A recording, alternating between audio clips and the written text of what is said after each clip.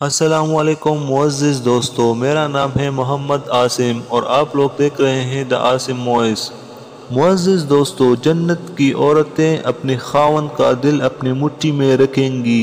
जन्नत की औरतें खुश कलाम हैं, अपनी बातों से अपनी खावन का दिल मोआ लेती हैं। जब कुछ बोलेंगी तो यूँ मालूम होता है कि पुल जड़ते हैं और नूर बरसता है। इब्न अबी हातिम में है कि इन्हें अरब इसलिए कहा गया है कि इनकी बोलचाल अरबी ज़ुबान में होगी।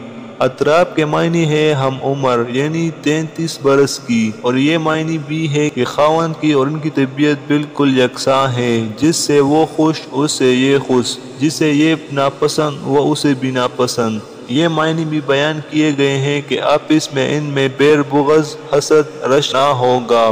ये सब आपस में हम उम्र होंगे ताकि बेतकल्लुफी से एक दूसरे से मिले, जुलें किले और कूदे। तरमीज़ी की हदीस में है कि ये जन्नती हूरे, एक रूहफ़ा बाग में जमा होकर नहायत प्यारे गले से गाना गाएँगी और ऐसी सुरीली और रसीली आवाज़ मखलूक ने कभी ना सुनी होगी। अबू यला में है कि इनके गाने में ये भी होगा, जिसका तर्जुमा कुछ यूँ है हम पाक साफ़, खुशवजा, खूबसूरत औरतें हैं जो बुज़ुर्ग और जी इज़्ज़त शोहरों के लिए छुपा कर रखी गई थी।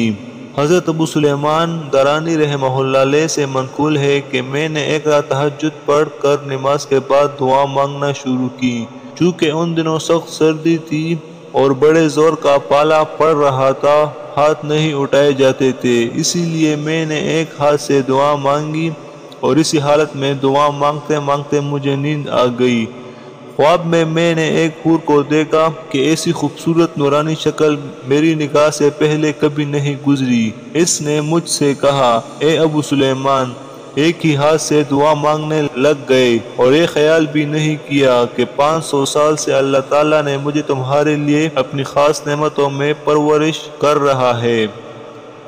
मुआज़ दोस्तों, इसी तरह की और वीडियोस देखने के लिए हमारे चैनल को ज़रूर सब्सक्राइब करें और अगर आपको ये वीडियो पसंद आई हो तो इसे लाइक करें और अपने दोस्तों के साथ शेयर भी करिएगा। तो मिलते हैं अपनी अगली वीडियो में, तब तक के लिए अल्लाह हाफिज़।